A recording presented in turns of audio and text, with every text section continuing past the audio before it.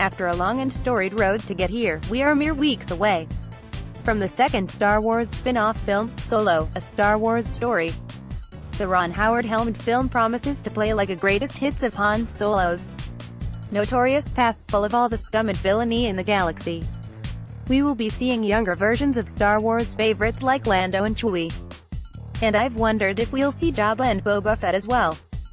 However, now it appears that C-3PO may also make an appearance, and the source of this information is none other than Mark Hamill.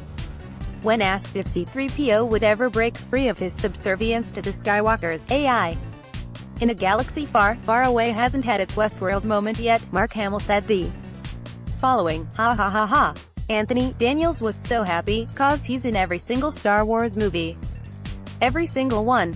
All the prequels, he's in Rogue One, he's in Solo. Whoops. I hope that's not erm. But anyway, he's in every Star Wars movie.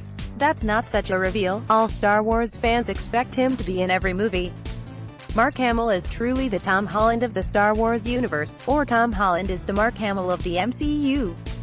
If we take Mark Hamill's comments on the Washington Post's Cape Up with Jonathan Capehart podcast at face value, it sounds like Anthony Daniels and C-3PO will be making it a perfect 10 for 10 on appearances in live-action Star Wars films when Solo hits theaters. Now it is important to note that, rather than having accidentally let something slip, Mark Hamill may just be messing with us. The Jedi Master has a long and proud history of dolling out fake spoilers and generally trolling fans and Disney with his statements on the franchise. However, as Mark Hamill says, Anthony Daniels C-3PO has been in every Star Wars film to this point. This means there's an expectation from Stone that he will show up, so perhaps this isn't that big of a spoiler. As to how C-3PO shows up and whether or not we need him to is another matter. The spin-off films to this point are basically adjacent to the main saga story, so it makes narrative sense that there would be some crossover of certain characters in Rogue One and Solo. This new movie is interesting because while it makes sense to see a lot of familiar faces, I'm not sure how C-3PO will fit in given where he is at this point in the story.